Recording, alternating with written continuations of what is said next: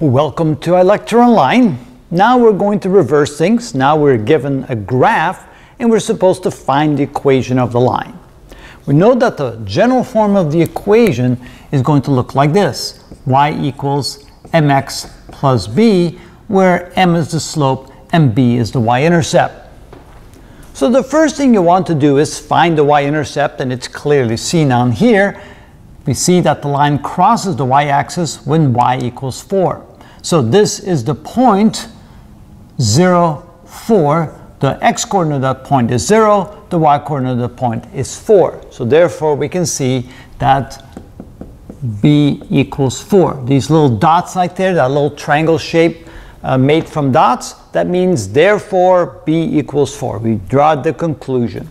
And so we can then plug that into our equation and so now our equation becomes y equals mx plus 4. So the only other thing we need to do now is find the slope.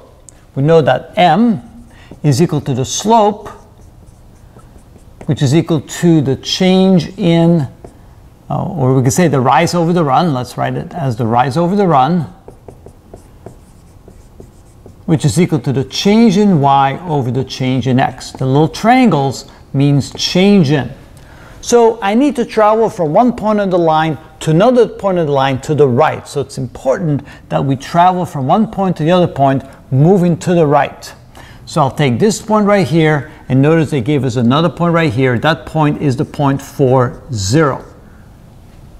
So, therefore we can write that the slope is equal to the change in y. The change in y is the change in the vertical direction.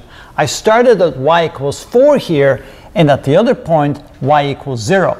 So the change is from 4 to 0, or the second point minus the first point. So I can say that this is y2 minus y1 and divide by x2 minus x1. So this is my first point, point 1. This is my second point, point 2. And so this here is my x2, y2 coordinates. And over here, this is my x1, y1 coordinates, like that. And so therefore, to find the slope, I take the y value of my second point and subtract the y value from the first point. Notice that it really makes sense to label your points like that. And again, it doesn't matter if you let this be point 2 and that point 1, makes no difference. Either one works, but you want to label them. And so now you can simply plug in the values. y2 is 0, minus y1, which is 4. Divided by x2, which is 4, minus x1, which is 0. So this is equal to, and let me erase part of that line there, minus 4 divided by 4. Now, notice that again, the slope is the rise over the run, and notice the rise is actually negative which means we dropped in height, went from a higher point to a lower point. So the rise is essentially a drop. It's a negative rise. And notice the run is from here to here, which is a run of 4. So negative drop of 4 and a run of 4. Well, that gives us negative 4 over, over 4. That's equal to negative 1. So this becomes a slope. A negative slope simply means that the line goes down to the right instead of up to the right. And so now we can go ahead and take that result and plug it in here. And now we have y equals negative 1x plus 4, or you could simply write y equals negative x plus 4. We don't have to write the 1. And there, that's the equation of the line that we were looking for based upon what was given to us graphically.